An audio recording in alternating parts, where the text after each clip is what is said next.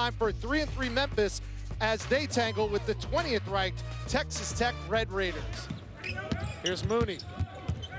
Grad transfer to grad transfer. Matt. And there's a three by the freshman Kyler Edwards. Seven Texas Tech turnovers. Mark Whoa. blocked by Culver at the other end.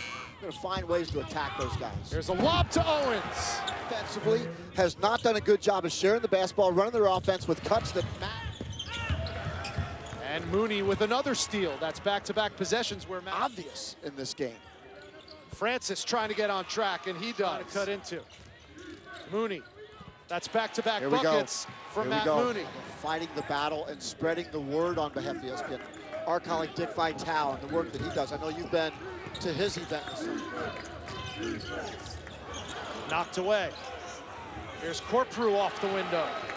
Tough shot from Deshaun Much Corprew. underrated basketball team down in Houston. Blocked by Owens. Let's see if Texas Tech can deflect a dribbler.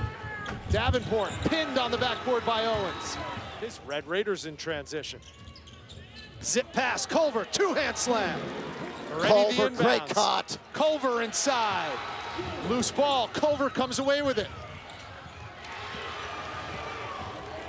Edwards gives it to Owens. Owens has a chance to give Texas Tech the lead. Just got blocked by Owens.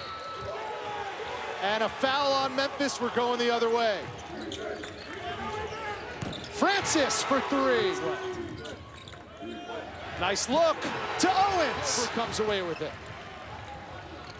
Edwards got it. Wow. Another assist from Culver. And a show of toughness from Texas Tech, who trailed the large majority of this game, but ends up coming back in a big way in the closing minutes to finish off with a 78-67 win and remain unbeaten on the season 7-0.